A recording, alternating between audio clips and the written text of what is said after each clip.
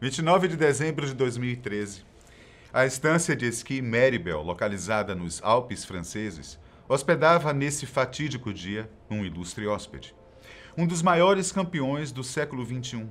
Um homem que colecionava nada mais do que sete títulos mundiais e era considerado um dos maiores representantes do esporte que praticava a Fórmula 1. A essa altura você já deve saber de quem estamos falando. Sim, gente. Michael Schumacher o famoso heptacampeão de Fórmula 1, que sofreu um acidente enquanto esquiava, batendo o lado direito da cabeça contra uma rocha, machucando-se gravemente, rompendo até mesmo seu capacete de proteção e quase perdendo a vida.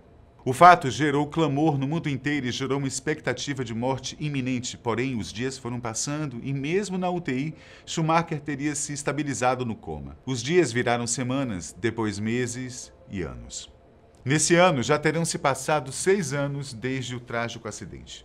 Uma notícia aqui, outra ali. Há informações de que o piloto saiu do coma. Mas o que realmente sabemos sobre o seu estado de saúde? O que está acontecendo com ele hoje em dia? Eu sou Benjamin e eu vou te contar a verdade sobre como está realmente Michael Schumacher. Sabe-se com certeza que durante quase seis meses após o acidente, o piloto ainda estava em coma profundo, internado no centro hospitalar universitário da cidade de Grenoble, um local especializado em lesões cerebrais. O próprio hospital cuidou de divulgar que Schumacher havia sofrido um traumatismo craniano muito grave, que exigiu uma intervenção cirúrgica de urgência. Por muito tempo, os dados sobre as condições eram escassos e sempre transmitidos por terceiros, de modo não oficial. A ausência de uma cobertura atualizada com fotos, depoimentos e detalhes de todo o quadro simplesmente deu espaço para rumores de todos os tipos. Logo mais você vai entender melhor que tipo de rumores são esses. Bom, mas na sequência do que já foi noticiado, em 16 de junho de 2014, a assessoria de imprensa de Michael Schumacher quebrou o silêncio e informou em comunicado que o piloto havia saído do coma e sido transferido para o Hospital Universitário de Vaud, na Suíça, para continuar o processo de reabilitação. No entanto, poucos meses depois, em 9 de setembro de 2014, mais informações foram divulgadas afirmando que o campeão mundial tinha deixado o hospital suíço, onde se encontrava internado, para continuar sua recuperação em casa. E é aí que o mistério começa a aumentar. Familiares e amigos mais próximos passaram a dar cada vez menos informações à imprensa e havia apenas notícias incertas sobre a saúde do campeão.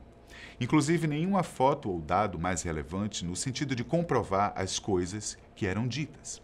Uma das primeiras pessoas que trouxeram um pouco de luz ao misterioso caso foi o arcebispo alemão George Gaswain, que fez uma visita ao ex-piloto em sua residência na Suíça.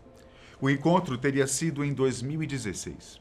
O religioso fez um relato emotivo da ocasião, contando que segurou as mãos de Schumacher, mas que ele não conseguia se comunicar e realizava poucos movimentos, embora estivesse consciente do que acontecia ao seu redor. O ex-presidente da Ferrari e amigo pessoal de Schumacher, Luca de Montezemolo, lançou um pouco mais de lenha ao debate no mesmo ano, quando deixou a casa do amigo com uma vaga e contida declaração. Infelizmente, as notícias não são boas. A vida é mesmo muito estranha. Foi tudo o que Montezemolo disse, sem maiores explicações e deixando todos intrigados. Mas qual seria o diagnóstico real do piloto? O que havia realmente acontecido com ele? As perguntas se acumulavam cada vez mais, mais sem respostas. E não foi apenas o arcebispo alemão quem visitou Schumacher. Alguns outros nomes conhecidos também estiveram na residência do piloto.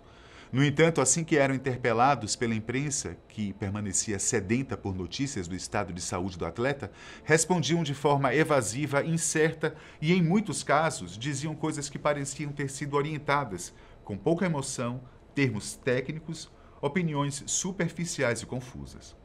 Cada um que visitava Schumacher e dava algum depoimento fazia aumentar ainda mais o mistério em torno da situação.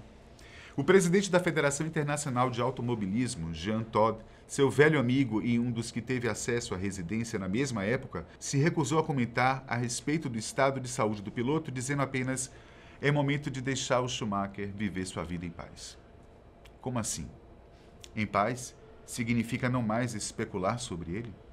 Tudo só ficava mais nebuloso e estranho. Em 2017, o brasileiro Felipe Massa pôde visitar o ex-companheiro de Ferrari e, como os demais informantes, afirmou o seguinte: Eles preferem deixar tudo entre eles.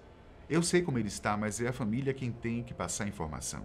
E deu o assunto por encerrado. Willie Weber, ex-agente de Schumacher, também foi ao local no mesmo período, porém sua fala incendiou os noticiários e deu força aos boatos de que havia algo de errado em tudo aquilo. Weber enfaticamente disparou. Já é hora de a família de Schumacher contar a verdade. Que verdade seria essa? Por que a família do piloto, junto de amigos, colegas e da equipe médica, não teria sido transparente sobre o caso? Qual o motivo de tanto mistério, afinal? Que situação seria essa que precisava ser protegida a sete chaves? Em meio às incertezas, a imprensa sensacionalista passou a arriscar e lançar as conhecidas fake news que rapidamente passaram a ocupar espaço em publicações do mundo todo, reforçando todo o suspense e alimentando as teorias conspiracionistas de diversas naturezas. Um ano após o acidente, a revista italiana Auto Sprint foi a primeira a publicar dados não oficiais. A reportagem revelava que Schumacher teria os músculos faciais imóveis, respondendo apenas a estímulos sonoros com os olhos e fazia exercícios usando uma cadeira de fisioterapia. Além disso, chorava ao escutar a voz dos filhos e da mulher, Corina. A família negou todas as informações. O britânico periódico Daily Mail passou a divulgar que o custo do tratamento semanal de Schumacher girava em torno de 50 mil libras semanais, mais de 240 mil reais. Um valor exorbitante, porém custeado por seus rendimentos vindos de contratos com patrocinadores. Contratos que não apenas dependiam da atuação de Schumacher na Fórmula 1, mas que teriam valor por toda a vida do piloto. Eu disse vida, certo? Algo que nenhum médico ou familiar jamais ousou mencionar, mesmo que em sentido parcial, como uma possível morte cerebral, o que ainda significaria que Schumacher estaria vegetando, mas ainda vivo. Todas essas insinuações vinham da mídia que também era o canal para garantir que ele estava com vida e apresentando melhoras. Uma inconstância de informações que deixavam o público bastante confuso. Em 2017, por exemplo, a revista alemã Bund publicou que o campeão havia voltado a andar e que havia acontecido um milagre de Natal, sendo logo processada por isso. Depois foi a vez do jornal britânico Daily Express informar falsamente que Schumacher estava pesando menos de 45 quilos. Processos rolavam à torta e à direita, mas a mídia continuava com as publicações. Em 2018, a revista francesa Paris Match também abordou um suposto choro de Schumacher em dadas condições, tendo todo o conteúdo negado pela família. Mais recentemente, em fevereiro de 2019, o site Notícias em Foco publicou a manchete: Seria Deus? Schumacher acordou de coma profundo. Detalhes da recuperação ilustrada por uma estranha montagem de um suposto Schumacher envelhecido e com a cabeça enfaixada. Não havia qualquer indício de clareza ou de entrevista, mesmo que seja de algum parente, médico envolvido, e nem mesmo imagens nítidas que pudessem assegurar a veracidade da reportagem. No entanto, ainda hoje, a situação de Michael Schumacher continua sendo o segredo mais bem guardado do esporte e talvez um dos mais bem mantidos do mundo dos famosos. A última notícia a respeito de seu quadro partiu de um diário uruguaio, o Ovacion, que publicou que no último mês de setembro, que Schumacher teria dado entrada no hospital El Georges Pompidou, em Paris, para iniciar um tratamento com células-tronco, e que, para manter o sigilo, ingressou no local com nome falso, coberto por uma manta azul e acompanhado por dez seguranças. Segundo o diário, tudo elaborado para manter um grande plano de preservar a verdadeira identidade do piloto alemão. Mas a pergunta que não quer calar permanece. Por quê? Com qual motivação alguém que está bem e se recuperando andaria pelas ruas feito um foragido? Confirmando a mesma notícia, o jornal francês Le Parisien ainda publicou que ele foi visitado nesse hospital por Jean Lézy e Alain Prost, além de seu ex-chefe da Ferrari, Jean Todt.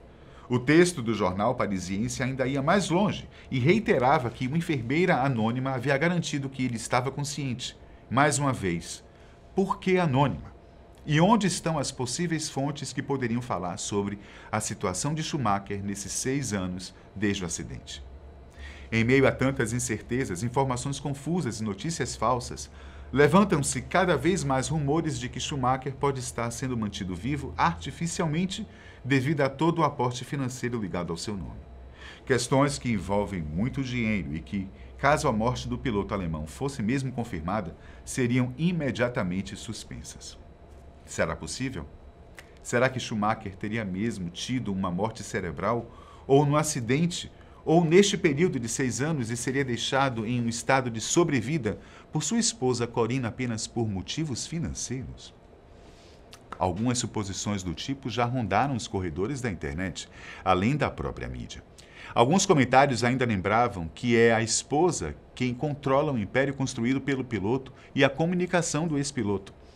Então vamos analisar um pouco mais fundo esse mórbido cenário. Em números publicados em 2016, três anos após o acidente, apesar dos gastos médicos anuais de 8 milhões de euros, ou cerca de 30 milhões de reais, Michael Schumacher continuava sendo um dos homens mais ricos da Fórmula 1, mantendo ainda uma fortuna total de 700 milhões de euros.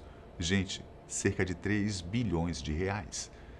Não houve nenhum sinal de queda, apesar dos custos médicos excessivamente caros, o que indica que sua fortuna continuou a receber mais e mais dinheiro.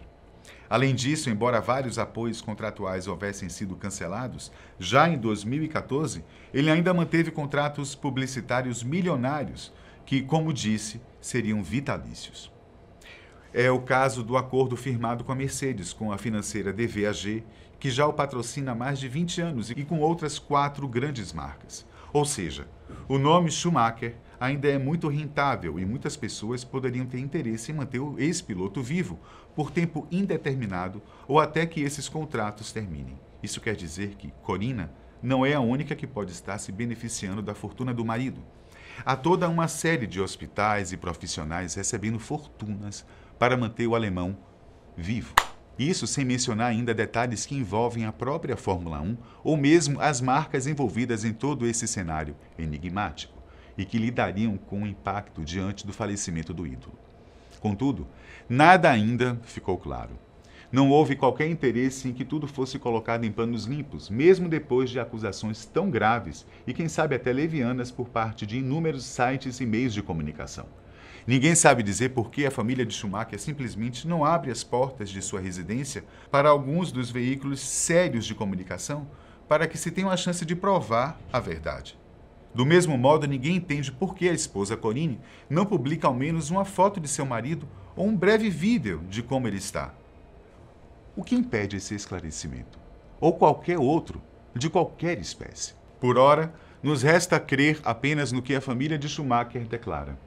Ele está vivo, se tratando em sua casa em processo de evolução gradual. Qualquer dúvida além permanece.